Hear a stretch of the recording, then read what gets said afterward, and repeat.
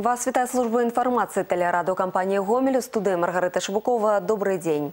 Работа региональных сродков массовой информации у год культуры, социальное партнерство и основная тенденция развития публичных библиотек.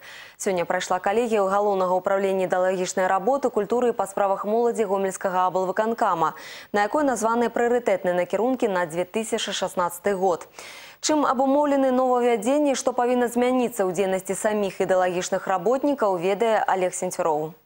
Кіраўнікі міністэрства інфармацыі і культуры, выканаўчых камітэтаў усіх узроўняў, галоўныя рэдактары рэгіянальных газет, прадстаўнікі абласных структур грамадскіх арганізацый на калегію галоўнага ўправлення ідэалагічнай работы запрасілі каля 300 чалавек, тых, хто вызначае ідэалагічную палітыку і тых, ад каго залежыць эфектыўнасць яе рэалізацыі прааналізаваць поспехі і недапрацоўкі, каб дакладна вызначыць перспектыўныя накірункі далейшай работы і бадай адна з галоўных задач узмацнення кадравага патэнцыялу. Сёння ў амаль 60% прадстаўнікоў ідэалагічнай вертыкалі гомельскай вобласці стаж работы на займаемай пасадзе не перавышае 5 гадоў. Пераважная большасць ідэалагічных работнікаў звыш 75% жанчыны. Праўда, нейкіх заўваг менавіта да іх работы ніхто не выказвае. Патрабаванне для ўсіх адно. Галоўнае, каб спецыяліст мог прыйсці ў любы калектыў і адказаць на любое питання. Люди, которые не боятся идти в трудовые коллективы, встречаться с населением по месту жительства, открыто говорить о самых актуальных проблемах, о том, что сегодня есть проблема, но всегда есть пути ее решения. Всегда нужно открыто смотреть людям в глаза и дать возможность людям высказать эти проблемы. Значная увага ў гэтым годзе удасканальванню работы рэгіянальных СМі. Зараз на Гомельшчыне зарэгістраваны 24 дзяржаўныя газеты з агульным тыражом у 165 тысяч экземпляраў. Іншая справа, што сёння эфектыўнасць іх работы ацэньваецца ўжо не толькі колькасцю надрукаваных старонак. Неабходна больш актыўна працаваць у інтэрнэт-прасторы. Нават уласныя сайты цяпер ужо не падстава для гонору. Это сегодня создание специальных приложений мобильных для тех, кто хотел бы не только дома но и в пути, в дороге пользоваться самой свежей и нужной информацией. Я сегодня хотела бы обратить ваше внимание, что мы должны формировать культуру потребления информации не застануцца па-за ўвагай ідэалагічнай вертакалі і мерапрыемства, якія будуць праводзіцца ў рамках года культуры. Тут вельмі шырокі спектр работы ад маніторынгу культуры паводзінаў кіраўнікоў суб'ектаў гаспадарня і захавання дысцыпліны іх падначаленымі да мадэрнізацыі паліграфічных прадпрыемстваў і развіцця рэгіянальнага радыёвяшчання, плюс інфармацыйнае суправаджэнне такіх сацыяльна значных падзей, як 75годдзя пачатку вялікай адчыннай вайны і 30годдзя чарнобыльскай катастрофы.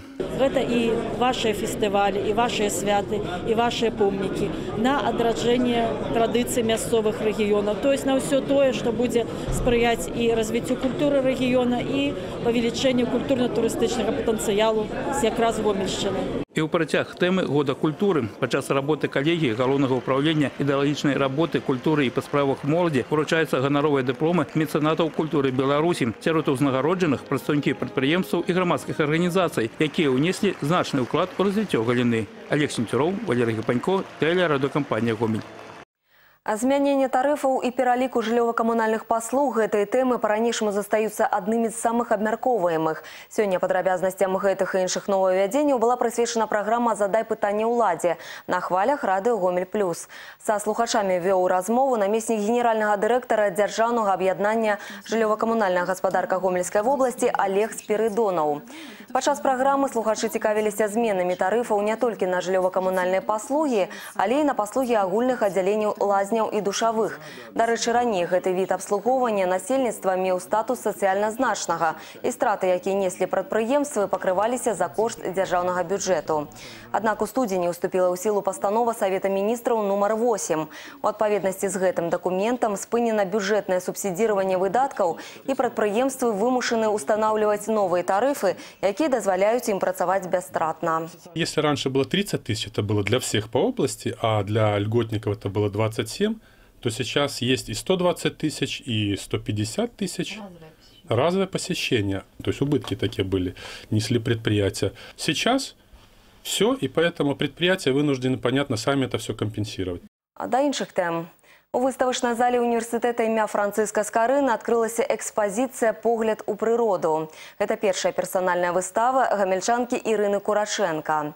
Адкрыцця гэтай экспазіцыі ва ўніверсітэце чакалі доўга. Вядомая любімая выкладчыца біялагічнага факультэта Ірына Кураченка рыхтавалася да творчага дэбюту каля года.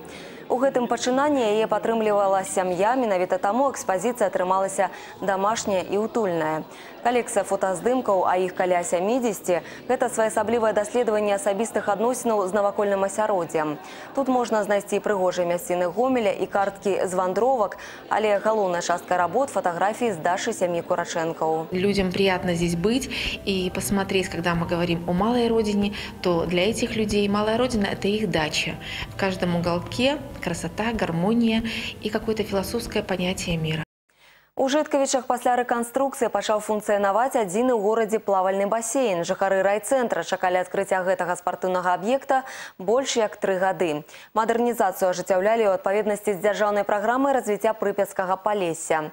На адкрыцці басейна пабываў Максім Савін. Праект каштаваў абласному бюджэту больш як 23 мільярды рублёў. Грошы немалыя, аднак справу зрабілі вельмі важную. Басейн працуе ўсяго некалькі дзён. На расклад заняткаў у абедзвюх чашах малой і вялікай ужо даволі насычаны. Тут займаюцца выхаванцы мясцовай спартыўнай школы, якой належыць спартыўны аб'ект. Ужо набралі тры групы, аднак жадаючых нашмат больш, таму аддзяленне плавання будуць пашыраць. Таксама тут навучаюць плаванню школьнікаў, могуць карыстацца паслугамі басейна і жыхары райцэнтра. Дарэчы, ажыятаж з іх боку вялікі, потому простаивать без права объект не будем. Людей очень много, э, желание у людей большое, соскучились по бассейну. Вечерних по два сеанса сейчас, выходной день три, три сеанса, но если народ будет идти, понятно, будем увеличивать сеансы и будет гораздо больше.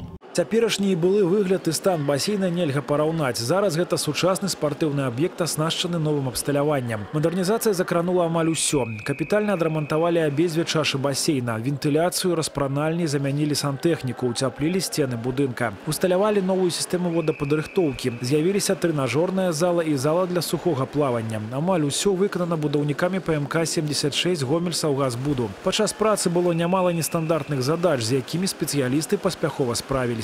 С бассейном, допустим, с такими, как вот с водоподготовкой столкнулись впервые. Ну, если, если люди этим занимаются, коллектив у нас довольно-таки хороший, сплоченный и а, грамотный, поэтому проблем в этом больших не составляло. Ёсць у мясцовых уладаў планы па мадэрнізацыі іншых спартыўных аб'ектаў у жыткавічах. Першы на чарзе гарадскі стадыён. Развитие по стадиону нужно там следующий этап, это мы хотели бы там поработать и сделать наш центральный стадион лучшим. Максим Савін, Ігор Марышченко, тэлерадыёкампанія Гомель з жыткавічаў. Будучых зорак спорту шукаюць у гомелі падчас правядзення дзён дзіцячай лёгкай атлетыкі. Мерапрыемства праходзіць пад эгідай міжнароднай асацыяцыі лёгкаатлетычнай федэрацыі. Удзел прымаюць навучэнцы чацвёртых класаў. Плануецца правесці спаборніцтвы сярод каманд школ усіх раёнаў абласнога цэнтра, а таксама некаторых рэгіёнаў гомельскай вобласці. Пераможцы прымуць удзел у фінале. Першымі ў лёгкаатлетычным манежы спаборнічалі школьнікі Навабелецкага раёна Гомеля. Усяго 10 каманд па 10 чалавек у кожнай. Відаў праграмы таксама 10. Гэта бег, скачкі, розныя віды кіданняў. Для юных удзельнікаў гэта хутчэй гульня, а вось трэнеры прыглядаюцца да іх сур'ёзна. Ребята покажут свою силу, ловкость, умение, э, значит, бегать, прыгать и э, пос- позволит отобрать лучших, э, значит, среди детей, те, которые смогут э, потенциально участвовать ну, во всех и дисциплинах легкоатлетических и не только.